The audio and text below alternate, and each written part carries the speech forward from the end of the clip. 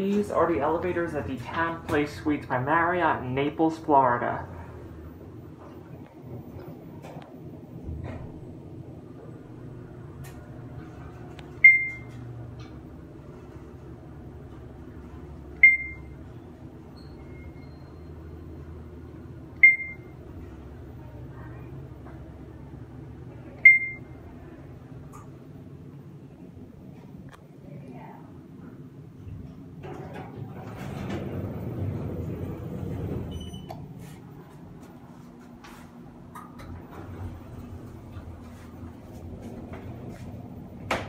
This one doubles as a service car.